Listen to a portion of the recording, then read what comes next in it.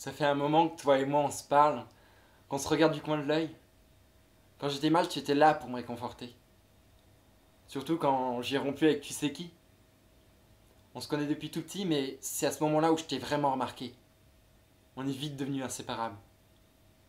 Je me rappelle aussi de cette énième fois où j'ai pas été gardé par mon patron. Et t'étais encore là.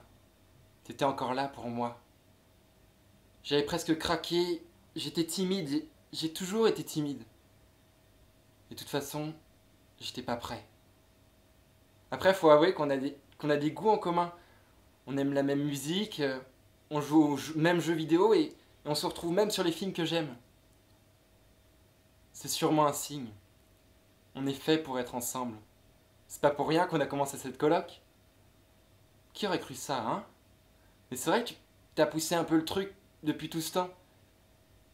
Et puis tous ces soirs où, tu me chuchotes sur mon oreiller, où tu me hantes mes nuits et, et nourris mes insomnies. Ton plus gros coup pour me forcer la main. Faut avouer, c'est bien ce confinement ironiquement.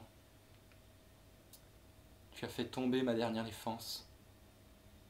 Tu m'as ouvert les yeux. Aujourd'hui, je peux te le dire. Je suis prêt à t'embrasser.